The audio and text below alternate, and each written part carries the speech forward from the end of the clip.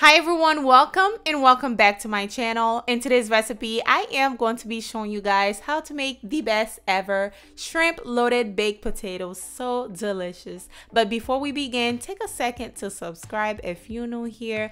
Also, if you enjoyed today's recipe, be sure to give it a thumbs up and let's get started.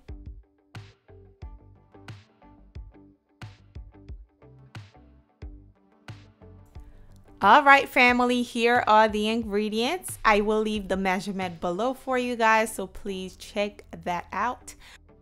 I am using three russet potatoes. Make sure they're nice and clean and make sure you pick the big potatoes. Also, we have some chicken broth here as well as some bacon bits. I pre-cooked these because I didn't want to make the video too long. And I have some heavy cream here as well. Also to season, we have some, we have Old Bay seasoning. We have some chives. And we also have some Creole seasoning as well as some dry parsley and a little bit of lemon pepper And here we have some sour cream as well as some garlic. I am using fresh garlic for this recipe. Also, we have some butter. And today's cheese of choice, I am using Colby Jack cheese. However, you can use whatever cheese that you like, okay? And we have some large shrimp. They're nice and clean and deveined. Okay, shall we begin? First thing first, I am going to drizzle a little bit of oil to my potatoes. That way when they come out, they're not too wrinkly. You know how it looks when you bake potatoes. But once you're done drizzling your oil on there, grab a fork and start pricking some holes. That way it doesn't just pop in the oven, okay? Once you are done, you are going to grab yourself some sea salt and drizzle some sea salt all over the potatoes. Next, you're going to take some foil and wrap it up in foil. It will cook even faster.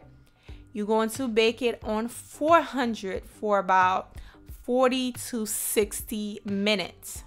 Okay, 40 to 60.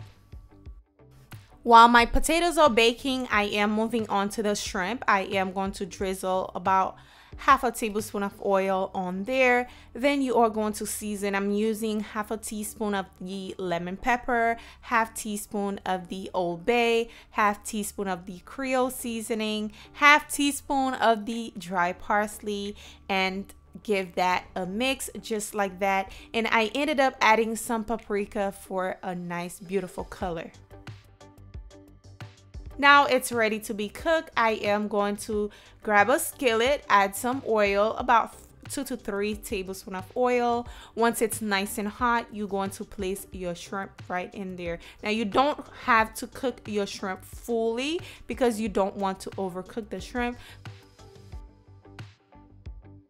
Once I notice the tail of the shrimp is turning or changing color, I flip it over. Now I'm going to cook it for about two minutes per side. Once they're done cooking, you are going to remove them, set them aside.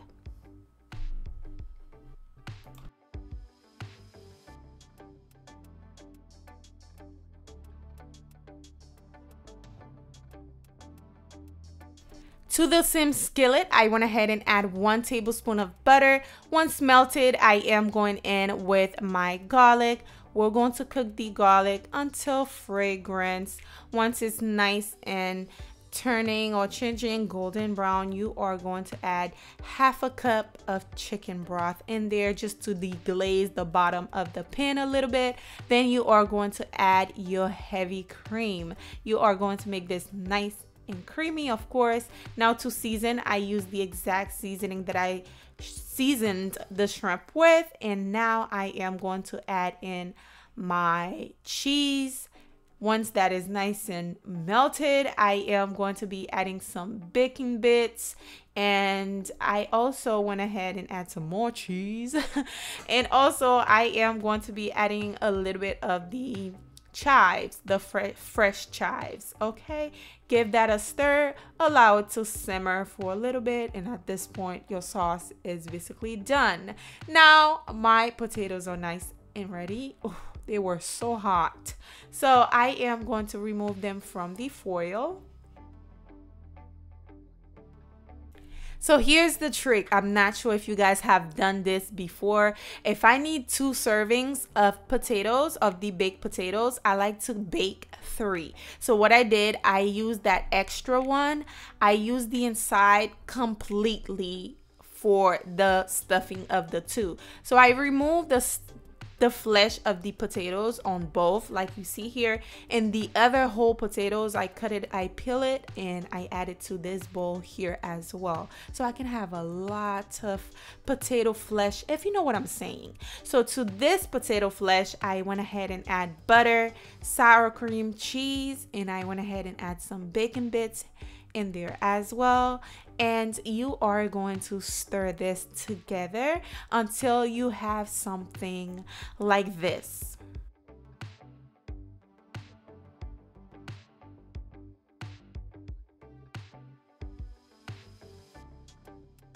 Next, you're going to grab your potatoes, the sauce that you made, pour some at the bottom layer of the potatoes, and then you are going to take the flesh of the potatoes that you just mixed together. You're going to stuff it in the whole potato. Make sure you really stuff it in there.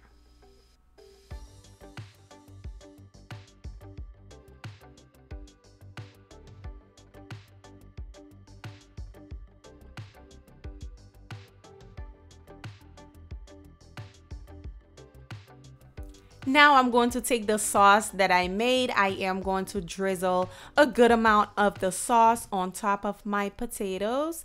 And also take your shrimp, that delicious shrimp, just place it on top just like that.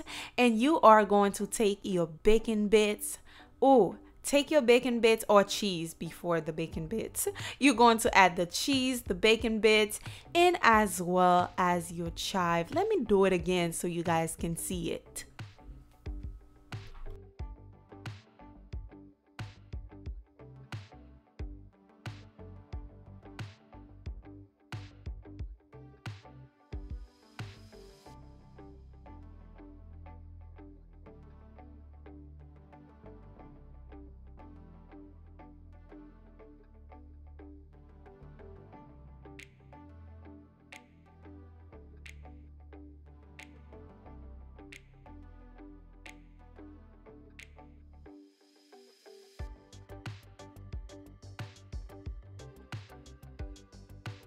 Ooh, these looks bomb. That's what I'm talking about. Now you're going to bake these for about 10 to 15 minutes just to melt the cheese a bit and as well as the shrimp to cook it a bit more.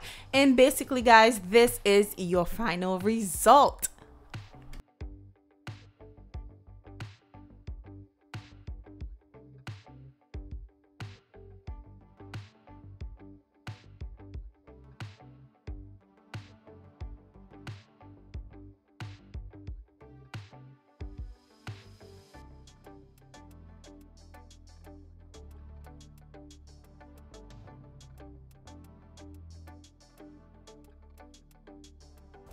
Thank you so much for watching guys. I hope you enjoyed today's recipe. Be sure to give it a thumbs up if it was helpful, if you enjoyed it. Also, don't forget to subscribe here. If you're new, I upload new videos here at least three times a week. I give you guys ideas on what to cook for your family. So please be sure to subscribe and I will see you guys on the next recipe. Bye guys.